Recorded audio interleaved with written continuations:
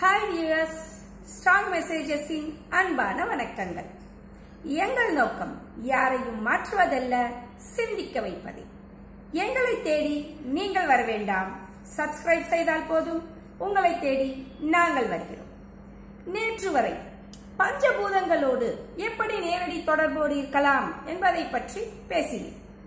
இன்று நம் உடலில் உள்ள கழிவுகளை நீக்குவதற்கான முறைகளை சொல்வதாக சொல்லியிருந்தேன். இப்பொழுது நான் எந்த அறிவுரையும் வழங்கப் போவதில்லை. என்னுடைய அனுபவத்தை உங்களோடு பகிர்ந்து கொள்ளப் போகிறேன்.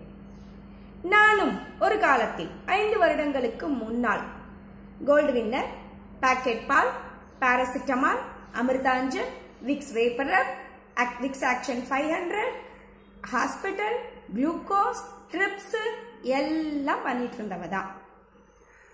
திடீர்னு பயங்கர ஜுரம் வந்து அட்மிட் ஆகி ட்ரிப் சேர்த்தி ரெண்டு நாள் ஸ்டே பண்ணி கஷ்டப்பட்டு வீட்டுக்கு வந்து இதை பண்ணிட்டு இருந்தவ தான். எலும்பு முதுகு எலும்புல பிரச்சனை அடிக்கடி ஆஸ்பத்திரியில் வருஷத்துக்கு ஒரு தடவை போய் ஆஸ்பத்திரியில் படுத்து அதுக்கு வெயிட்டை கட்டி இடுப்புலேருந்து கீழே கட்டி தொங்க விட்டு ஃபிசியோதெரபி கொடுத்து இதெல்லாம் செய்து கொண்டிருந்தவள் தான். திடீரென்று ஒரு நாள் ஹீலர் பாஸ்கர் ஐயாவின் புத்தகத்தை படிக்க நேர்ந்தது. அதன் பிறகு என் வாழ்க்கையில் ஒரு மாற்றம். தேடத் தொடங்கினேன். அந்த தேடுதல் என் உடலின் ஆரோக்கியத்தை பாதுகாத்துக் கொள்ள தக்க வைத்துக் கொள்ள என்ன செய்யலாம்? இயற்கை முறையில் என்ன செய்யலாம்? என தேட ஆரம்பித்தேன்.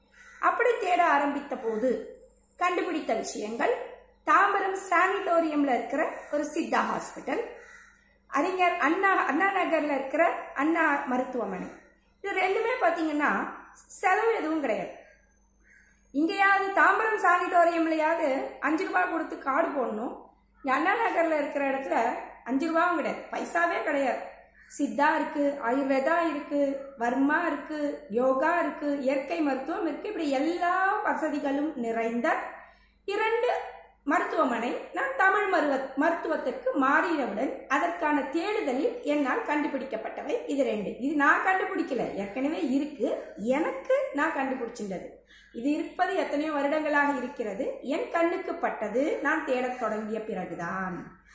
பணம் செலவில்லாம திரும்ப சிகிச்சை எடுத்துக்கலாம் அப்படின்னு போனா ஒரே ஒரு பிரச்சனை என்னன்னா அஞ்சு நாளைக்கு ஒரு தடவை வந்து மாத்திரையும் மருந்தையும் வாங்கிக்கணும்.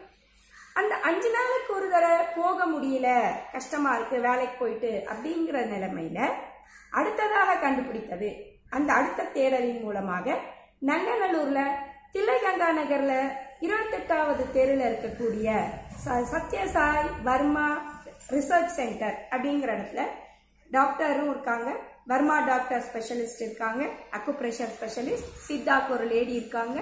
இவங்களுடைய அறிமுகம் எனக்கு கிடைத்தது. வருஷா வருஷம் போய் என் எலும்புக்காக நான் பண்ணிட்டு இருந்தேன் முதுகெலும்புக்காக பண்ணிட்டு இருந்த ஒரு விஷயத்த அந்த டாக்டர் வர்மா மூலமா அதாவது இப்படி நகர்ந்திருந்த அந்த எலும்பை திருப்பி பழைய பொசிஷனுக்கு கொண்டு வந்து வச்சார். அதுக்கு நான் ரொம்ப வலியை அனுபவிச்சேன். எல்லாரும் சொன்னாங்க வலி எப்படி தாங்கினேன்னு? எப்படி தாங்கினேன் தெரியுமா? என்னுடைய எலும்பை சரி செய்வதற்கு அந்த மருத்துவர் எவ்வளவு வலியை அனுபவித்தார் என்பது எனக்கு தெரியும். அவர் அதை செய்யறதுக்காக அவருடைய காலும் அவருடைய கையும் எவ்வளவு வலியை வேதனை அனுபவித்தது என்பதை நான் பக்கத்தில் இருந்து பார்த்தேன். அப்போ முடிவு பண்ணேன். அவரும் சம்பாதிச்சார். சம்பாதிக்கிறேன்னு சொல்ல பணம் வாங்கினார். ஆனால் சம்பாதிக்கும் முறையில் மற்றவர்களுக்கு நன்மை செய்து சம்பாதிக்க வேண்டும். அப்படிங்கிறத நான் அவர்கிட்ட இருந்து கத்துனேன்.